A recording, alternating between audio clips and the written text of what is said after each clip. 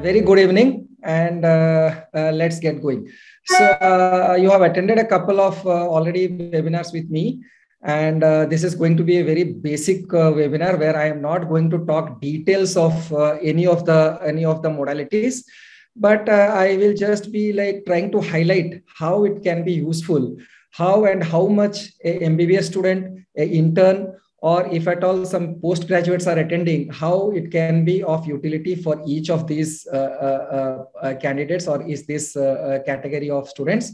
So we will get going. And this is going to be very basic. I will give some examples and in the end, you will also be having some quiz, like I'll be putting up some scenarios or some pictures which you will have to answer. So please attend carefully and uh, try to try to visualize or capture the images which I am trying to show you.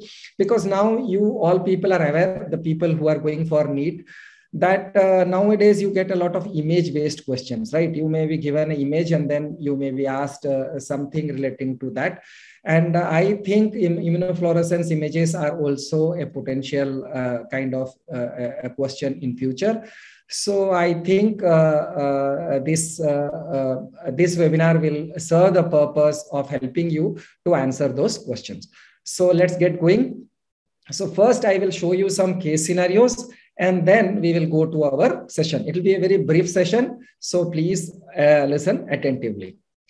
So first clinical scenario. Now I have given here a kidney biopsies, right? I have shown you some pictures of three kidney biopsies. Now, kidney biopsy is one of the important area where we need immunofluorescence. The other most important area is skin vesiculobullous disorders. Okay, so vesiculobullous disorders of skin as well as kidney diseases. There, these are the two conditions where we commonly use immunofluorescence. Okay, so here is first scenario that is based on kidney, and then we will subsequently go on to see some skin cases. So here you can see this glomerulus is not normal here you can see a little bit of mesangial matrix expansion, right? You can make out that the mesangium is little expanded, though not many cells. Here you see another scenario where there is some proliferation. Here you can make out that there is endocapillary proliferation because we are not able to see the capillary loops.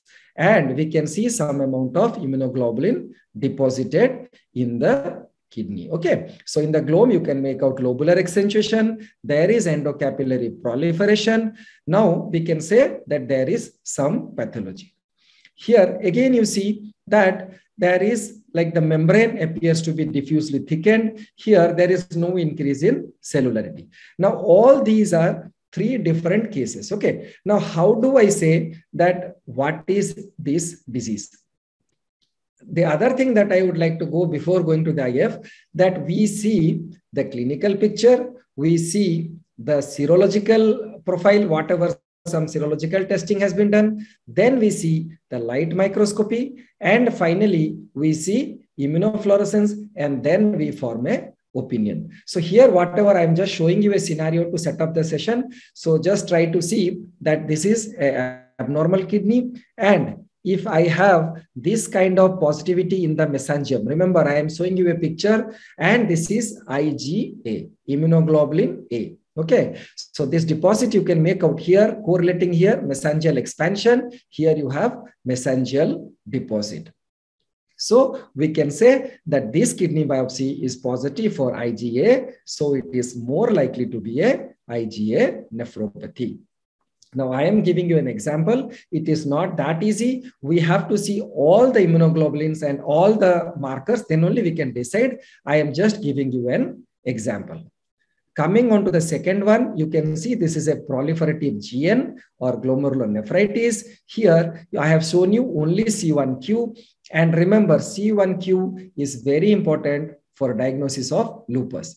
And you must remember that C1q deficiency is a cause of lupus nephritis or systemic lupus erythematosus, as well as C1q positivity is frequently seen in case of lupus. Two are different things. Don't confuse. So C1q positivity means you have to think of it is likely to be lupus nephritis. The other part of it, you have to remember in theory that C1q deficiency, C1q is an early complement component. C1q deficiency also results in systemic lupus erythematosus. Okay, so here I have shown you only C1q, but in lupus, we will get IgA, IgM, IgG. So all immunoglobulins, we will get C3, complement, we will get C1q as well as kappa and lambda. So if all these are positive, then we can say that this case belongs to a lupus nephritis. Clear? So here I have just shown you C1q. Now we will move on to the third one. Here you don't see much of proliferation, only membrane thickening. So if you see this patient is having only proteinuria, membrane thickening. So what will be the pathology? It is likely to be a membranous glomerulopathy. And here you can see that IgG, immunoglobulin G, is nicely positive in the membranes. I hope I am clear. So here you see mesangial deposits. Here you see nice bright mesangium as well as membrane deposit of C1q. Here you see nice membranous deposit of IgG. Uh, so these are certain scenarios, how they will help us to make a diagnosis. Now coming on to clinical scenario number two. Here, I have included three skin biopsies of different patients. Okay, so just to set up the session here, if you remember, now these pictures also you will have to remember because this can be a, a, image-based question for you. So here, if you see, these are, this is a vesiculobullous disorder because the epidermis you can see is detached from the dermis. Now, detachment will result in a bulla, but we need to know in histopathology whether the abnormality or detachment is within the epidermis, it is in the supraepidermal region, or it is in the junction. Clear? So here, if you see, see, we will not go into detail of it. We will talk about immunofluorescence. So here you can make out that the epidermis has been separated out and one layer of epidermal cells you can see or basal layer you can see that is attached to the dermis. So this is what we called as suprabasal splitting or suprabasal separation is there. So we will say suprabasal vesiculobullous disorder. So broadly, where is the separation? the separation is within the epidermis, okay? Within the epidermis and where exactly? It is in the suprabasal location. So the basal cells are attached here and the epidermis is separated out. And what do you call this condition or these basal cells? It is called as row of tombstone. They will appear like tombstone. So this is called as row of tombstone appearance. Now, row of tombstone appearance and some acantholytic cells, if you find here, is very characteristic of pemphigus. Now, how do we confirm pemphigus? See here, what pattern you will have? You will have a typical fish net pattern. Remember the words fish net pattern. Here you can see that the deposit or immunoglobulin IgG is deposited around each and every cell in a fish net kind of pattern. So fishnet pattern in the epidermis with IgG indicates that it is pemphigus disease. And there are separate like pemphigus vulgaris is there, foliaceus is there that we will come later. Now, this is another vesiculobullous disorder. See here, we don't have much of inflammatory cells. New inflammatory cells. And if these inflammatory cells are composed of eosinophils with a dermoepidermal splitting, we think of a common disease that is bullous pemphigoid. Remember, pemphigus vulgaris is a suprabasal splitting. That is a intraepidermal splitting. Whereas bullous pemphigoid is a dermoepidermal splitting. And which inflammatory cell is associated with bullous pemphigoid? It is eosinophils. Now, if the same pattern is there and you have lot of neutrophils, then we will think it is dermatitis herpetiformis. So you see how the inflammatory cell help us to differentiate. So you have a junctional splitting, eosinophils are present, it is bullous pemphigoid. If neutrophils are present in the same location, in the same pattern, then it becomes dermatitis herpetiformis. Okay, and how will we differentiate them? We do a IF. Okay, now here you see if you have C3 as well as IgG in the junction, where is the deposit here? Deposit is in the junction or dermo-epidermal junction. Even here, you can make out the split. The epidermis is separated from the dermis. Okay, so here you have dermo-epidermal deposit. Here you have a fishnet pattern. so I hope I am, I am very clear. Here you have a dermoepidermal deposit and it is mostly C3 and IgG. So if you have this pattern, then we can say that it is bullous pemphigoid. Okay. But suppose you had neutrophils here in the bulla and here instead of G3, G and C3, you had IgA, then it becomes dermatitis herpetiformis. Clear? So if G and C3 is there, bullous pemphigoid. If you have IgA deposit in the same location, then that becomes dermatitis herpetiformis. Now you must be able to analyze how the type in the morphology as well as immunofluorescence helps us to make a definite diagnosis. Now this is a third case where the epidermis appears normal, but what is the problem here? You are finding that perivascular inflammation and lot of neutrophils. So this is a case of vasculitis. Clear? So this is a case of small vessel vasculitis, otherwise called as leukocytoclastic vasculitis. Leukocytoclastic means the neutrophils will break and the nuclear debris will be there. That is why it is called as leukocytoclastic vasculitis. This is a type of small vessel vasculitis. Now, there are many causes of small vessel vasculitis. But one of the common cause, what I have chosen to show you is Henoch-Schönlein purpura, okay, HSP. That is also commonly encountered in pediatric patients. It can result in small vessel vasculitis. Now, how do we confirm that this is Henoch-Schönlein purpura? If you do a IF and in the vessels, in the, in the dermal vessels, if you find IgA deposit in the blood vessels, then along with the picture. Remember, IF should not be interpreted alone. You need to have a clinical background. You need to have a histopathological picture, like what we are having in vasculitis. And then you have IgA deposit in the blood vessels. Then we can say that it is henoch scoline purpura.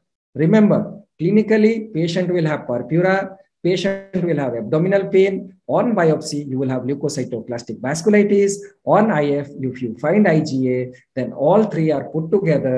You can say patient is having henoch scoline purpura. Clear? Now I will go very slow. This was the clinical scenario just to show you how IF can help us. So let's see what we are going to learn in this session. First, we will see the indications and applications of DIF. By now, you know what are the applications. Then we will know how to transport the tissue. That is very important. That's a pre-analytical before analysis, and that is very important as interns, as PGs. You must know how to send the tissue for immunofluorescence. Then we will see a little bit about cryostat, how the cryo processing is done, then we will see sample preparation, which is a little different from the routine histopathological processing. Then a little bit about immunofluorescence microscope. Then finally, the interpretation of the stain. So I will keep them very simple and very brief. Don't get panic. Okay. So first, why IF is done? By those case scenarios, you must be very clear that to have a definite diagnosis, you need to have IF because your more than one disease can have the same pattern. So in order to differentiate the same pattern, we need certain specific tests. Like in histopath, we do immunohistochemistry. Similarly, in, in histopath of kidney biopsy, we do immunofluorescence. Only difference is that in, in IHC, that is done on paraffin embedded tissue. What is the form fixative use there? That is formalin. But in immunofluorescence, we cannot use formalin. I will come to that later. But remember, IHC is done on formalin fixed tissue, but IF is done on fresh frozen tissue. So why IF is done? Now, I showed you some scenarios where in kidney biopsy, you need to differentiate immune complex disease versus non-immune complex disease. If your IgG is positive, that indicates it's a immune complex disease. Whereas if no immunoglobulins, no complement is there in the biopsy, then we say it is a non-immune complex mediated disease. Right? Can you give an example of non-immune complex mediated disease which results in proteinuria, common in pediatric patients? Try to recall very common, right? MCD, minimal change disease, F FSGS. So these are the two common disease where we do not have any immune complex deposit. Whereas if you talk about immune complex mediated disease, it can be IgA, it can be lupus, it can be, you have so many, it can be because of viruses like hepatitis. So, or many infections. And the commonest one is IRGN or infection related GN. So that is immune complex and non-immune complex. I have given you example. Now, immune complex versus complement. Now, the deposit in the kidney can be immune complex with complement, like I showed you SLE. Now, suppose only C3 is deposited, no immunoglobulins are there, then that will be called as complement mediated disease. If you have read your kidney chapter, then you can know the most common complement mediated disease is C3, GN, and it is again categorized into D, D, D. Can you name 3D? Dense, deposit, disease. Okay, so dense deposit disease is a complement abnormality where complement is deposited in the in the glomerular basement membrane. Then well, see, these are very few examples I have put. It is not as easy as that. It's, it's a vast thing. So just try to, I have put the very common causes which will be useful in your exam and day-to-day -day life. Okay. And in transplant biopsy, uh, to know whether there is antibody mediated rejection, I will show you, we do a stain that is called as C4D, C4D. Okay. So that will help us to know that there is antibody mediated rejection. Also to know recurrence of disease, like suppose a SLE patient is transplanted. After transplant, whether the disease is coming back or no, then we can detect it with the help of immunofluorescence. Okay, so that was about kidney biopsy. And the second scenario, if you can recall, I spoke about subtyping of vesiculobullous disorder as well as vasculitis. Clear? So two indications common. You must remember basic. It is kidney biopsy and skin biopsy where we have application of immunofluorescence. Now, how is this tissue transported? If you remember routine histopath, the tissue is put into formalin as early as possible and sent to the histopathology lab. But if you put the tissue into formalin, then that will not be very useful for immunofluorescence because for immunofluorescence, we need fresh tissue, fresh. You cannot put it into formalin. Once it's put into formalin, it's gone. We cannot do a immunofluorescence on that. So if it is a intra-institutional, suppose in the same institute where I'm working, the biopsy is taken in the nephrology department and the transportation time is less than say two hours, three hours, it will reach us, then you can put it in normal saline and transport it. But if you are expecting delay, like say I am doing a biopsy in Pondicherry and I have to send it to some other place in Mumbai or Delhi and it may take say three to four days, then I will use a medium called as Michel's medium. Remember, this can be a MCQ. Michel's medium is a transport medium that is used for kidney biopsy as well as skin biopsy for the purpose of immunofluorescence. Okay, so Michel's media, it can preserve the tissue up to five to seven days. It is not a fixative, it is just for the purpose of storage. The other solution that we use is one molar salt solution that is used for salt split. This is mostly for the postgraduates. You can read and find out. I am not going into the detail, but for MCQs, you can remember Michel's medium is the preferred transport medium, but for practical purposes, intra-institutional, you can send it in normal saline. Now, there we will put it in formalin. Here we are putting in normal saline and sending. And how we will process it? We have to freeze the tissue. And in order to freeze the tissue, what machine is required? We need a cryostat. Cryo means cold and because it's, it's a machine where a microtome is there, freezing is there, I'll show you. So it's basically a tissue that is used, or it's sorry, it's a equipment that is used to freeze the tissue. Freeze the tissue as soon as possible, as well as cut the sections. I will show you how the microtome or sorry, how the cryostat looks like. And then we need certain material. In histopath, we use what material do you know? For embedding, we use paraffin. Paraffin, remember, paraffin is used in histopath, but here we will use embedding media, that is cryomatrix or optimum cooling media. That I will show you. What is the temperature range that, that will be there for freezing? The temperature in a cryostat will range from minus 15 to minus 35. This is a broader category I have put. So there may be one or two dif degrees differentials in different machines. So whatever we use in our place, it has minus 15 to minus 35 degree centigrade. And how is this cooling done? It is done with the help of a cryogenic fluid that is helium. Now, again, within the chamber, I will show you. Now, this is how a cryostat looks like. Okay, different companies are there. What we use is a Leica cryostat. It's a very costly equipment. And you can see that these are the vials, normal saline bottles in which the specimens come. And here you can see the temperatures. Okay, here right now, the time when I have taken the photo, the temperature is maintained at minus 23.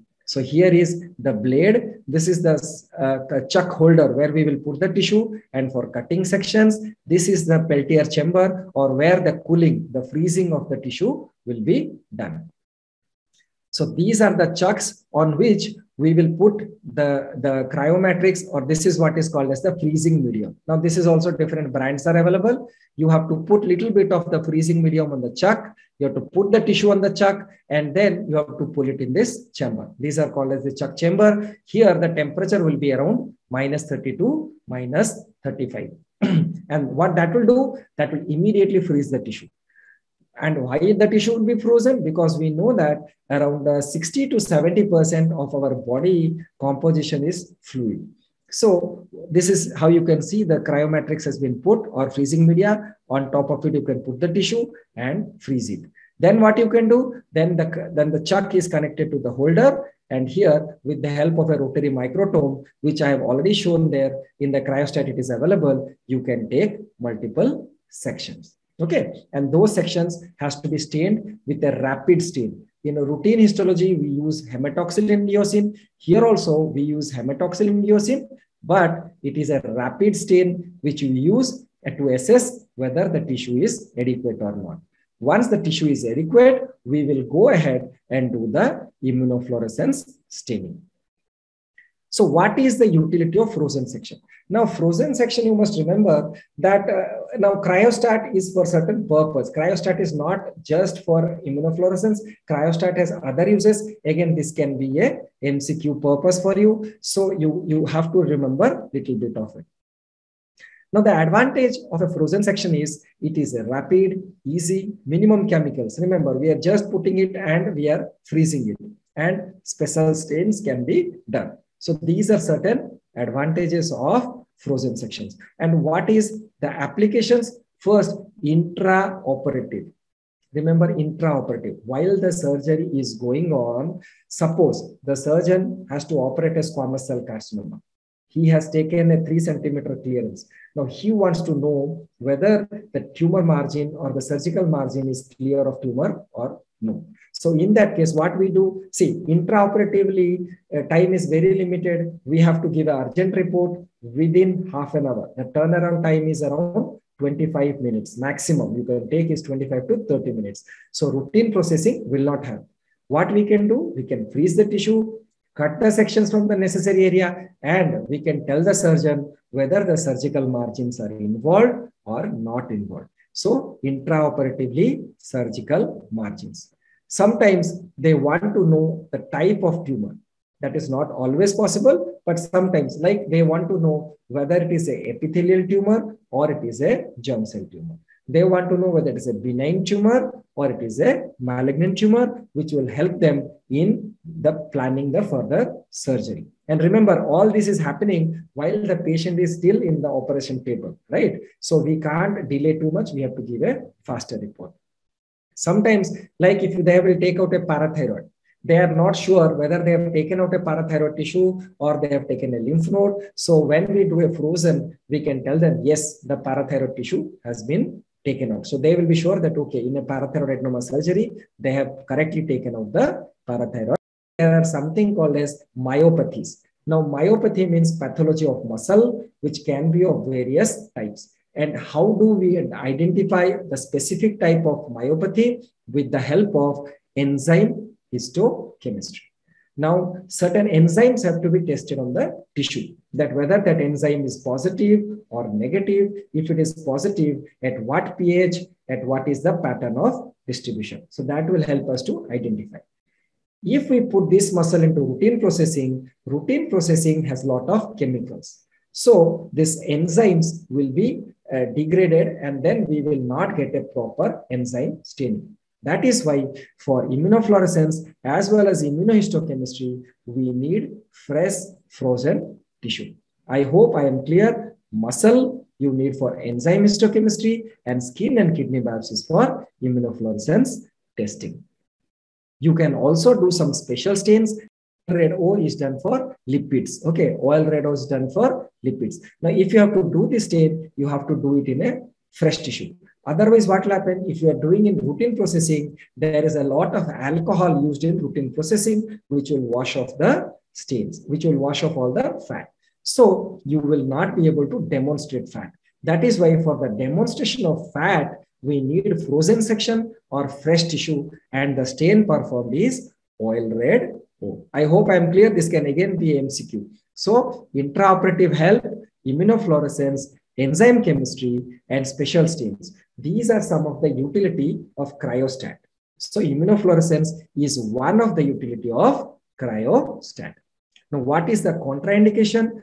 Fat and bony tissue. Bony tissue cannot be cut because it is very hard. Remember, bony tissue in routine processing are decalcified. They will put into acid. The calcium will be washed off. It will become soft. Then we can take a section. So that is called as decalcification. And fat will not have much of lipid water, so we cannot freeze it. Okay, fat will be like lot lot of lipid, or you can say cholesterol and other fatty substances that not have water. So when you try to freeze it, you will not be able to freeze it. So fatty tissue and bony tissue, these are a contraindication for frozen section or cryostat section. Again, this can be a MCQ. That is why I have put it in red. Now, how the sample preparation is done. You need not know detail of this, but you must know that we do not use formalin in case of IF. We will put it in, we will freeze it, fresh tissue. We need fresh tissue, not in formalin. It can be in normal saline or Michel's media. Remember, I am repeating and stressing on them so that it gets fixed. So we will wash it. This is not required much. So what we we will put it in isopentane and that will be immediately snap frozen in liquid nitrogen. And kidney biopsies, the tissue is frozen inside the cryostat. Here, the freezing is done with the help of isopentane as well as liquid nitrogen. I'm not going into the detail of it. Remember, isopentane and liquid nitrogen are used for snap freezing muscle biopsy. Okay, not for kidney and skin. Remember, it is used for muscle. We cut adequate sections, we treat it in different uh, reagent, we put the antibodies, we incubate it in the dark because we are putting certain fluorescent substance. If they will expose to light, the slowly the fluorescence will go away. So it has to be incubated in the dark. Then we will wash and then we will mount and we will observe it under the microscope. And what microscope we use? Not the routine microscope. We will use a immunofluorescent microscope, epifluorescence microscope. Clear? Immunofluorescence microscope. And here the mounting media is glycerol on PBS. What is the mounting media in normal processing? It is called as DPX. DPX. Okay. Here it is little different from that mounting media. which antibodies do we use? This is again an important thing. Please listen carefully. When we talk of kidney biopsy, we use three heavy chain, G, A, M. We use two light chains, that is kappa and lambda we use complement components C3, C1q, C4d. C4d is used for antibody mediated rejection and C1q is very helpful in diagnosis of lupus nephritis. Okay. Then others like PLA2R, another antibody that is used to differentiate primary versus secondary membranous glomerulopathy.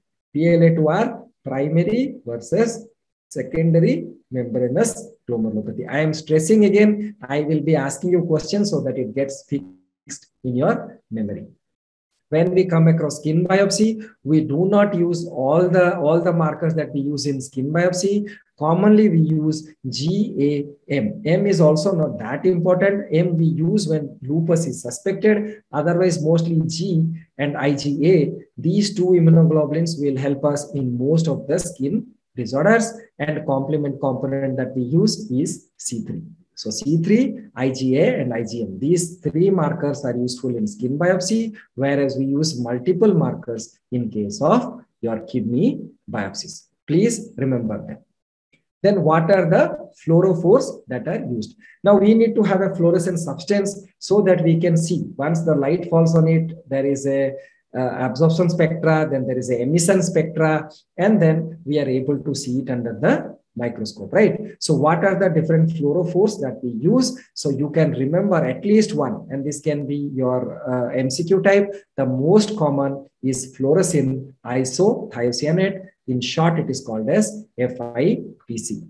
FITC or fluorescein isothiocyanate. Okay. Sometimes you may get the, the MCQ like the emission excitation as well as emission. Remember here that we use a light source which will emit the light at certain wavelength. Okay, that is called as excitation wavelength that will come and fall on the fluorophore.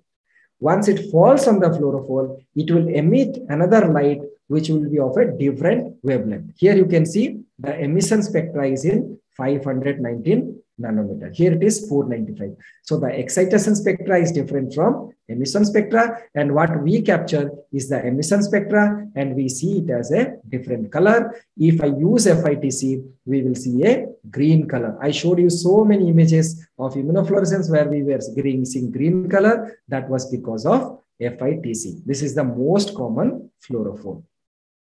The other fluorophores that can be used is Texas red. Now, if you use Texas red, that will give you a red color. Instead of green, you will get a red color. You can use Alexa fluor, and this will have a, a, a excitation and emission spectrum, which is close to FITC. So this also falls in the green spectrum. So here also you will get a green color light, like I have shown you different images, but you can just remember FITC is the most common.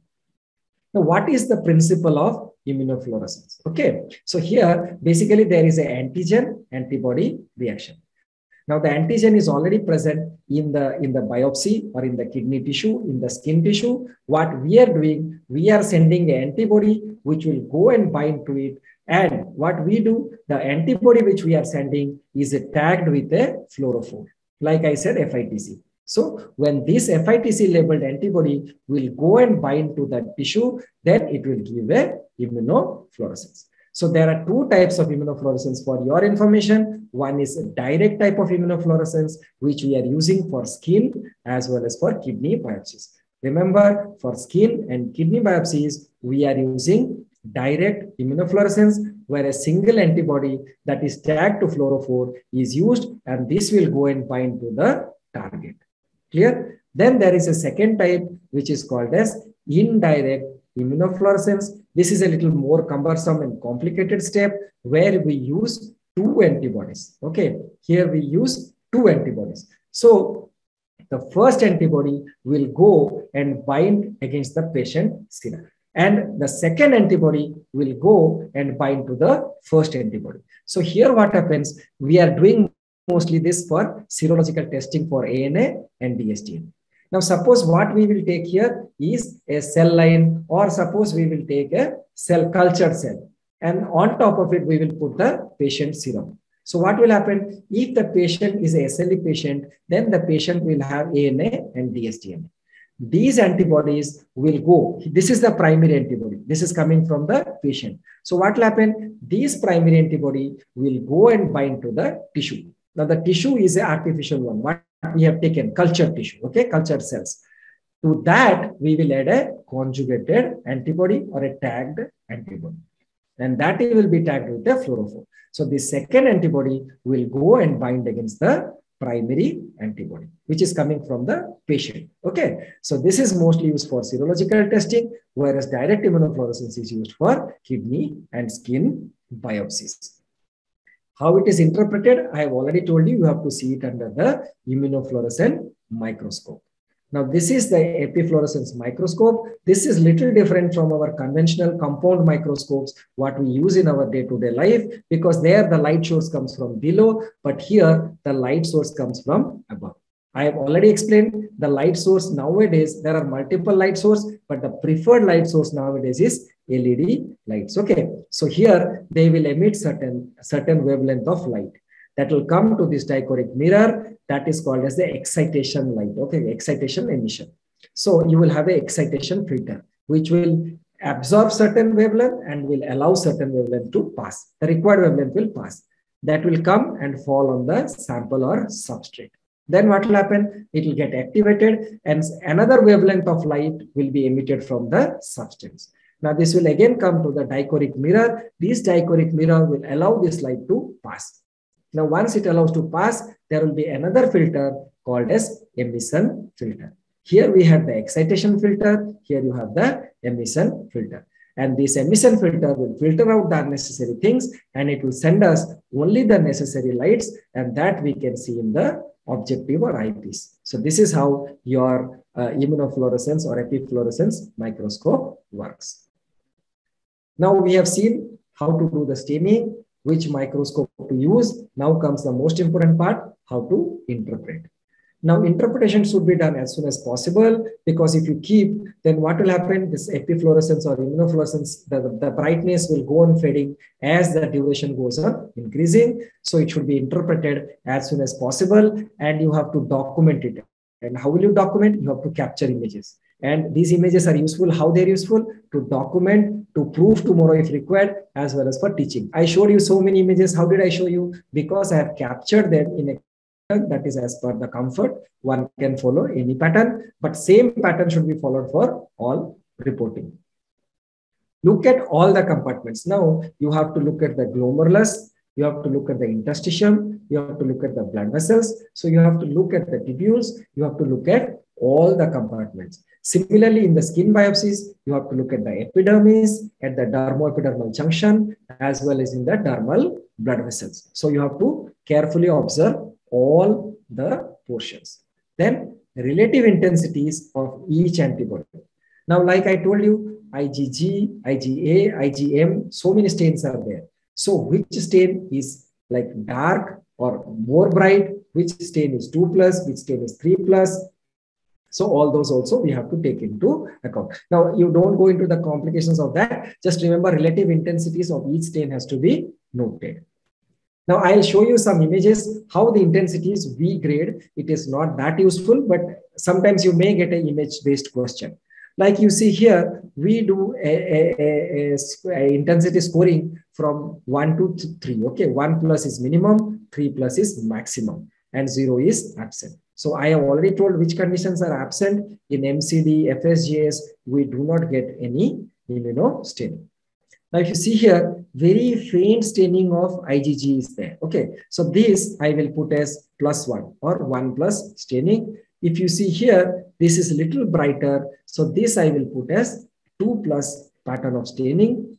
And here, if you ask me, this is very bright. You can see the comparison. This is 1 plus, this is 2 plus, and this is 3 plus. That is how we grade the intensity of staining. So that was about intensity. Now, what is the distribution? That is another important thing to note. So distribution can be glomerular, can be tubule, can be interstitium, but I will just show you some glomerular example.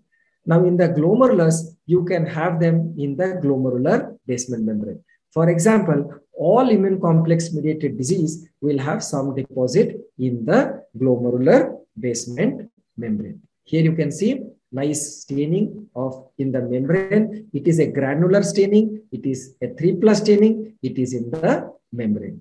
And if the patient has a nephrotic range proteinuria and morphologically there is membrane thickening, I can say this is membranous glomerulopathy. Now, the second pattern you have to see is whether the deposit is in the mesangium. Okay. So here you can make out, here the difference you can make out. Here it is mostly in the membrane. Here the deposits are mostly in the mesangium. Here it was IgG. Here it is IgA. So all the intensities, all the antibodies, which is positive, which is negative, all matter in interpretation. Then comes the third, that is GBM as well as mesangium, which is common in SLE. So here you can see it is very bright, 3 plus in the mesangium as well as in the membrane. This is another example where it is 3 plus in the mesangium as well as membrane. And you can make out that this is granular, dot, dot, dot, dot, dot, that types. Okay, it is a granular staining. Now that was about the place where you will see. Now the pattern again you have to see whether it is granular or it is fine. So if you see here, you can make out dot, dot, dot, that kind of pattern. This is again IgG. So this we will say is 3 plus granular staining. And where is the staining? It is mostly in the membrane. Then there is linear staining, okay? And that is common in anti-GBM. So if you see the same IgG in a linear pattern, this is in a linear pattern in the membrane, then we will call it as anti-GBM. Remember, for you people, only one condition will have linear positivity, that is anti-GBM disease. All other immune complex will have granular deposit. For you, important, you need to have a linear pattern in case of anti-GBM that can be a MCQ you can get a smudgy kind of positivity in amyloidosis, not that important for you. Here you can make out these are very bright and here it is not so bright kind of smudgy positivity. Now comes the light chain that we discussed about the immunoglobulins. Now comes the light chain, kappa versus lambda. And this is very important. Why you know? Why kappa lambda restriction we need to know? Because If kappa restriction or lambda restriction, then we know that it is a monoclonal or neoplastic condition. Now, can you tell me this kappa and lambda, whether they are like uh, lambda is more than kappa or kappa is more than lambda? If you see both, they look almost equal positivity, right? And they are in the membrane, they are granular staining, they are 2 to 3 plus staining. Now, in this, can you tell me whether it is lambda restricted or kappa restricted? It is very easy. I hope you people are picking up. You see, this is very bright, right? This is like a 3 plus positivity, whereas here there is no positivity. So we can say that this is lambda restricted. And once we report lambda restricted, the patient has to be investigated for monoclonal disorders or plasma cell dyscrasias. Okay, you, you read detail about it. Plasma cell dyscrasias will result in kappa or lambda, one of the light chains being excess. Now, DIF patterns in kidney biopsies, this is a table I have just put. You can freeze this, this, this slide and you can remember it, some of them, which will be important for your MCQ purpose. Linear IgG, what is the disease? anti-GBM disease. Starry sky pattern, it is infection related GN or post streptococcal GN. Nowadays, we don't use the term PSGN. We frequently use IRGN or infection related GN. Mesangial staining of IgA, which disease? IgA nephropathy. C1q positivity is very common in lupus nephritis. See, many diseases can have C1q, but for you as basics, you must remember if C1q is positive, it is likely to be lupus. Now, if you have only C3, no immunoglobulins, then you have to think of C3 glomerulonephritis. Very clear? In C3 glomerulonephritis, no immunoglobulins, no kappa lambda, only C3. Clear? Then comes PLA2R. I have already told that it comes positive in membranous and it helps to differentiate primary versus secondary. So this PLA2R will be positive mostly in case of primary and very rarely it can come positive even in secondary. Kappa lambda restrictions is very important because if kappa or lambda is restricted, we can think of amyloidosis, cast nephropathy. I will further show you some. In transplant, we do a C4D and where we will see for this positivity, we will look for in the peritubular capillaries, PTC, peritubular capillaries, and this is indicative of antibody mediated rejection. So MCQ, now, in skin biopsies, I showed you certain cases. So, if you have a fishnet pattern, which other disease you can think of? You can think of pemphigus. If it is fishnet, IgG, you have to think of pemphigus. But again, there is a little bit of difference between pemphigus vulgaris and foliaceus. This is for the postgraduates and people who want to know a little bit more. Now, there is certain things called as desmoglein, okay, DSG1 and DSG3. These, this pemphigus is an autoimmune disease where you have autoantibodies against desmoglein. And this desmoglein 1 and 3 are variably distributed throughout the epidermis. So if you have this desmoglein 3, which is distributed throughout the epidermis, and you will have a fishnet throughout the epidermis, then it is called as pemphigus vulgaris. Whereas if you have a fishnet pattern in the upper part of epidermis, then it is called as pemphigus foliaceus, where you have antibody against desmoglein 1, DSG1. In pemphigus vulgaris, it is DSG1 and DSG3, whereas in pemphigus foliaceus, it is DSG1. That is why in, in pemphigus foliaceus, you will have a splitting in the upper subcorneal, subcorneal, just below the corneal layer, you will have a splitting, whereas in pemphigus vulgaris, you will have a splitting. Then comes dermoepidermal junction positivity. Now, this can be seen in many conditions and you have to do certain other extra investigations as well as clinical correlation to find out which is the specific disease. But if you have C3 and G positive in the dermoepidermal junction, you can think of bullous pemphigoid as well as epidermolysis bullosa acquisita, okay, EBA. One more thing is anti-p200. This is a new antibody available. This can also be tried on IF. If this is positive, then you can say the patient is having bullous pemphigoid. And this can be important MCQ. anti-p200 antibody is positive in bullous pemphigoid. I hope I am clear. Then if you have IgA, if you have IgA in the junction, then you have dermatitis herpetiformis. See how the diagnosis is changing. Same junction, if it is GNC3, bullous pemphigoid. IgA, dermatitis herpetiformis, as well as linear IgA dermatosis. This is not very important. These three that I have put first, you have to remember.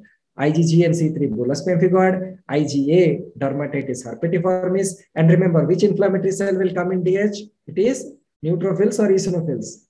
I have told in the first, second slide. Okay, it is neutrophils. In bullous pemphigoid, you will have rich in eosinophils. And then if you have a dermoepidermal junction positivity for G, A, IgM, C3, that is more indicative of SLE. So this is again in SLE. Then comes blood vessels. Now, if you, I have already shown you a clinical scenario where you have IgA deposit in the blood vessels that will indicate Henoch-Schönlein purpura. In short, it is called as HSP. Okay, this is a vasculitis, small vessel vasculitis commonly seen in pediatric patients, people less than 18 years of age.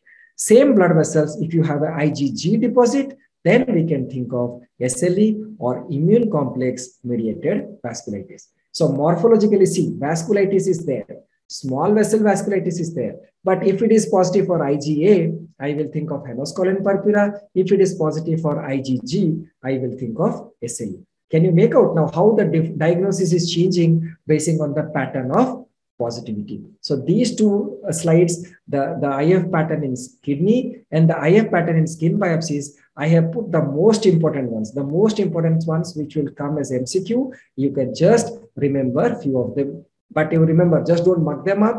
Try to understand them conceptually how I've explained. So it will be easy for you to answer the MCQs. Now we have completed our session. So it is quiz time. I'll just show you some images and you try to recall whatever I have told you. So what is the pattern of staining here? Can you tell me whether it is 3 plus or 2 plus? Here the staining intensity is? Yes, it is a 3 plus intensity. Where is the pattern or where is the distribution? It is mostly in the membrane. So which is the disease I am talking about linear positivity? It is NT, especially for the NEET entrance, you can get some image-based questions. Nowadays, that is becoming a trend. So this will help you in identify. This is mesangium, this is membrane. You can clearly see the difference. PLA2R, what is the utility of PLA2R? Come on, recall. PLA2R is used in membranous to differentiate primary membranous versus secondary. Now, why do we differentiate primary versus secondary? Because primary disease will have a different treatment. Secondary membranous will have a different treatment. C1q positivity is frequently seen in which disease condition, which autoimmune, common in young females? It is lupus nephritis. Okay, C1q we do in kidney biopsies, C1q we don't do in skin biopsies. That is not necessary that uh, the morphology as well as the other markers are good enough. This is C4D. C4D is done in which condition? C4D is done for ABMR or antibody mediated rejection in kidney biopsies. Where will you see it? You will see it in the peritubular capillaries. Here you can make out they are positive in the peritubular capillaries. Now this is about kappa and lambda. So can you tell me where is the whether, whether kappa is restricted or lambda lambda is positive or negative? Lambda is negative. What about kappa? Kappa is positive or negative? It is 3 plus positive. And where it is positive? It is positive in the cast. In the cast. So we can say this biopsy with the now, this is another point important for MCQ. In amyloidosis, we find lambda is more than kappa. Most cases will have lambda restriction, few kappa restricted, whereas in cast nephropathy, it is reverse. You must remember, this is important, okay? In cast nephropathy, kappa restriction is more than lambda. And it is throughout the epidermis or basal layer, it is throughout the epidermis. So this is likely to be pemphigus. But what have I shown here? I have shown here IgA. I have not shown you IgG. Remember, I have told you you have to see which antibody also. So this is not pemphigus vulgaris. This is IgA pemphigus. Okay. In pemphigus vulgaris, you will get IgG. In IgA pemphigus, you will get IgA, but the pattern remains the same. So see the difference, how antibody positivity, like each antibody positivity will differ the diagnosis. Okay. So here you see Again, you have deposit in the dermoepidermal junction. I have already shown you the picture. This is IgG. So C3 and IgG comes in bullous pemphigoid. And this also image I have told you. I had shown you an image of IgA. Okay, if you have IgA vasculitis, which is the condition? IgA deposits you will find? You will find in HSP. What about uh, IgG? If you find IgG in the vessels, you have to think of other immune complex mediated vasculitis. I hope I have made my message very clear. So we will summarize now. First, there can be overlapping morphology in many diseases. Remember, the morphology, kidney biopsy will look the same. If I take a vesiculobullous disorder of skin, dermoepidermal junction splitting is there. I don't know whether it is bullous pemphigoid or it is a EBA, so or it is dermatitis herpetiformis. Morphology will give some clue, but for confirmation, you need immunofluorescence. Like in tumors, we used immunohistochemistry. DIF is mandatory or direct immunofluorescence is mandatory for all kidney biopsy interpretation. DIF is very useful in vesiculobullous disorders. Remember, without DIF also we can report skin vesiculobullous. But in difficult cases, this IF will help us to decide whether it is vesiculobullous like because of uh, bullous pemphigoid or it is because of epidermolysis bullosa because the treatment is different. Remember, the disease you diagnose, the treatment will vary. So just identify the importance of a pathologist. Okay. So the pathologist diagnoses the diseases and the clinician can only suspect and the pathologist can confirm. Okay. The third is the type, the intensity, the pattern, the location, everything matters. So you have to be careful when you are choosing MCQ, whether it is IgA positive, IgG positive, it is in the dermoepidermal junction, or it is a fishnet pattern. So everything matters. Now, cryostat has many uses. I have highlighted. Intraoperative is very important, but we use also in immunofluorescence as well as enzyme immunochemistry, as well as we use it for special stains like serological, your, your light microscopy, then your immunofluorescence or immunohistochemistry. It is not one modality that will help you confirm, but the final diagnosis comes with the correlation of all these modalities. Thank you so much. I would like to express my gratitude to my institute, JIPMER. This is where I work, my department faculties and staff, and of course, my residents who are always a boon to us, who help us and we, we teach them. And, and obviously, we also learn from them. Okay. Thank you so much.